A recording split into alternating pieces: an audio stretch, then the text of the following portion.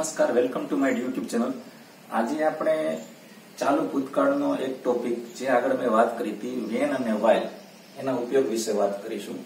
તો ચાલુ ભૂતકાળમાં આ બે શબ્દો છે, વેન અને વાઇલ એ પૈકી વેનનો ઉપયોગ ક્યાં અને કેવી રીતે થાય છે તેની આપણે વાત કરીએ. ભૂતકાળમાં જ્યારે બે ક્રિયાઓ બનેલી હોય સપોઝ પેલી ક્રિયા કોઈ ભૂતકાળની હોય, એક ક્રિયા કોઈ ચાલુ ભૂતકાળની હોય, એ આપણે વાક્ય સ્વરૂપે દર્શાવવું હોય, ત્યારે વેનનો કઈ રીતે ઉપયોગ થાય? તેની વાત કરીએ. તો ભૂતકાળમાં જ્યારે બે ક્રિયાઓમાં એક ક્રિયા ચાલુ હતી, તેમ દર્શાવવા માટે વેનનો ઉપયોગ થાય છે. મતલબ કે વેન કઈ રીતે ઉપયોગ કરાય તો કે વેન વાળું જે વાક્ય હોય છે, એની સાથે વી હોય છે, એટલે સાદો ભૂતકાળ હોય છે. તેની સાથે રહેલું બીજું વાક્ય છે, એમાં ટુ બી પ્લસ બી હોય છે, જે ચાલુ ક્રિયા દર્શાવે છે. આ જ બાબતને આપણે સ્પષ્ટ રીતે કહીએ તો વેન વાળું વાક્ય સાદા ભૂતકાળનું હોય છે અને તેની સાથે રહેલું બીજું વાક્ય ચાલુ ભૂતકાળનું હોય છે. વેન વાળું વાક્ય આગળ હોય કે પાછળ હોય, વેનની સાથે હંમેશા વી ટુ હોય, એટલે વેન છે એ સાદા ભૂતકાળનું વાક્ય થયું તેની સાથે રહેલું વાક્ય છે ચાલુ ભૂતકાળનું હોય, આગળ હોય કે પાછળ હોય. એક્ઝામ્પલ જોઈએ આપણે. When I D to the school teacher was teaching a poem અહીંયા વી ટુ એટલે કે સાદો ભૂતકાળ છે વેનથી શરૂ થાય છે એટલે. ત્યારબાદનું બીજું વાક્ય છે એમાં વી ફોર આવેલું છે, એટલે કે એ ચાલુ ભૂતકાળનું વાક્ય છે. એવી જ રીતે વેન વાળું વાક્ય જો પાછળ આપેલું હોય, તો આ રીતે બને.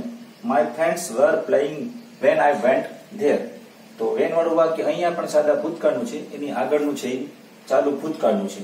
તો આ વેનની સમજૂતી થઈ. તો ત્યારબાદ આપણે વાયલની સમજૂતી મેળવશું. વાઇલમાં કઈ રીતે છે? વાઇલમાં થોડું ઉલટું છે.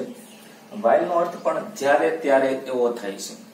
વેનથી તદ્દન અલગ રીતે કાર્ય કરે છે વાઇલથી શરૂ થતું વાક્ય ચાલુ ભૂતકાળનું હોય છે અને તેની સાથે રહેલું બીજું વાક્ય સાદા ભૂતકાળનું હોય છે મતલબ જ્યાં વાઇલ આવે છે તે વાક્યમાં તે વોઝ કે વેર પ્લસ બી ફોર આવશે તેની સાથે રહેલા બીજા વાક્યમાં વી ટુ એટલે કે સાદો ભૂતકાળ આવશે while I was crossing the road I saw an accident એમાં વાઇલ સાથે આપણે V4 યુઝ કરેલો છે, એટલે ચાલુ ભૂતકાળ દર્શાવ્યો છે। બીજા સેન્ટેન્સમાં આપણે વી ટુ એટલે કે સો ઉપયોગ કરેલો છે. સપોઝ વાઇલ વાળું વાક્ય પાછળ આપેલું હોય તો પણ રૂલ્સમાં કઈ ચેન્જ થતો નથી. હી મેટ માય ફ્રેન્ડ એટલે આ વાઇલ સાથે રહેલું બીજું વાક્ય છે, જેમાં આપણે વી ટુ મૂકેલું છે. એના પછીનું વાક્ય વાઇલ વાળું જોઈએ while he was going to office અહીંયા વાઇલ વાળામાં આપણે to be plus V four ઉપયોગ કારણ કે વાય વાળું વાક્ય હંમેશા ચાલુ ભૂતકાળનું હોય છે. તેની સાથે રહેલું બીજું વાક્ય સાદા ભૂતકાળનું હોય છે. અર્થ એવો થાય પહેલા વાક્યનો, કે જ્યારે હું રોડ ક્રોસ કરી રહ્યો હતો ત્યારે, યાદ રાખવાનું વાઇલ મતલબ જ્યારે, અહીંયા કોમા છે એનો અર્થ થાય છે ત્યારે. આઈ સો અન એક્સિડન્ટ ત્યારે મેં અકસ્માત જોયો. રોડ ક્રોસ કરતી વખતે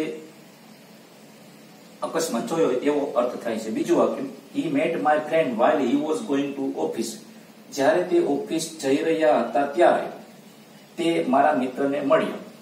એટલે આ કાળ છે એમાં વેન અને વાઇલ એ રીતે ઉપયોગ થાય છે અને કપલ ઓફ ટેન્સ કહેવાય છે. એક સાથે બે કાળ આવે છે. સાદો ભૂતકાળ અને ચાલુ ભૂતકાળ. વેન અને વાઇલ ખૂબ જ કોમ્પ્લિકેટેડ છે.